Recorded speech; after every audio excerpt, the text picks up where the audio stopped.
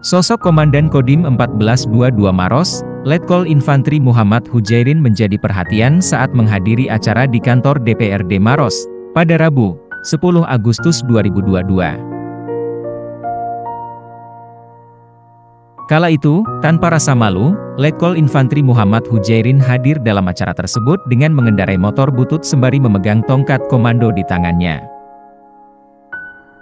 Sontak hal itu mencuri perhatian Ketua DPRD Maros Patarai Amir dan anggota Dewan lainnya ketika melihat sang Komandan Kodim yang hendak kembali ke markas Kodim Maros dengan mengendarai motor butut seusai acara di gedung DPRD tersebut.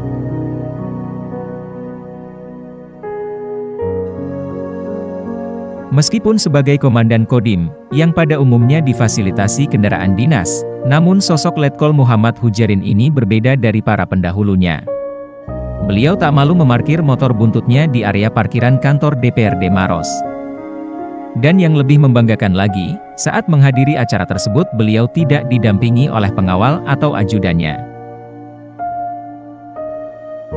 Aksi Letkol Infantri Muhammad Hujairin tersebut membuat Patarai Amir tersenyum, saat Dandim bergegas meninggalkan kantor DPRD.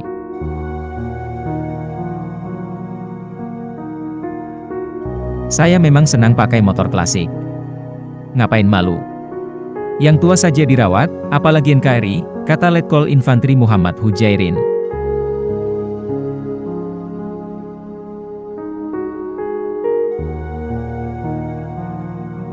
Motor Honda Star keluaran tahun 90-an tersebut menjadi motor kesayangan sang komandan Kodim, sebab menurut beliau motor Honda Star itu memiliki banyak historinya.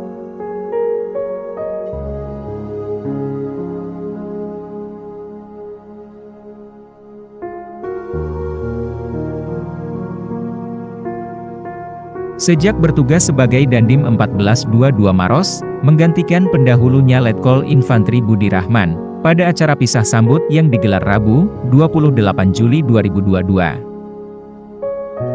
Muhammad Hujerin memang kerap tampil sederhana.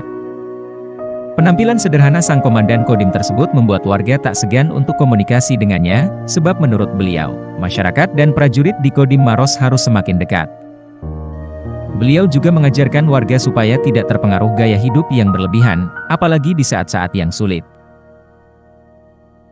Bahkan saat jalan-jalan pun dengan sang istri, Dandim 1422 Maros juga mengendarai motor bututnya. Jalan-jalan ke mana saja sama ibu, pakai motor ini. Termasuk ke mall, kata sang Dandim.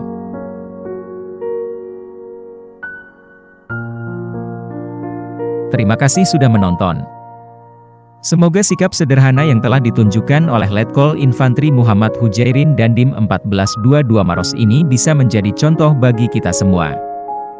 Jangan lupa like dan subscribe agar tidak ketinggalan upload video terbaru kami dan bagikan video ini kepada rekan dan sahabat untuk saling berbagi motivasi dan pelajaran hidup untuk kita semua.